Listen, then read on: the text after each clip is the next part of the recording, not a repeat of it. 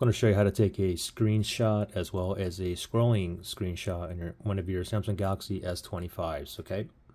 So there's like eight or nine ways to take a screenshot, but the most common way is a two key combination. It's volume down, power button. Press both at the same time. Let go, boom.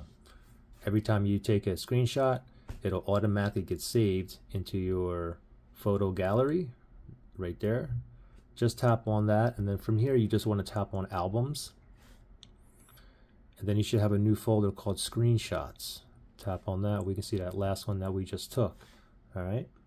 Now let me show you how to take a scrolling screenshot. So let's say we open up a browser here. We have Chrome here and we have like this long page here.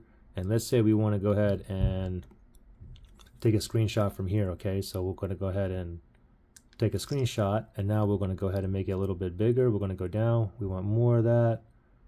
So instead of taking like multiple screenshots, you can just take one big screenshot, right? Let's just go down more.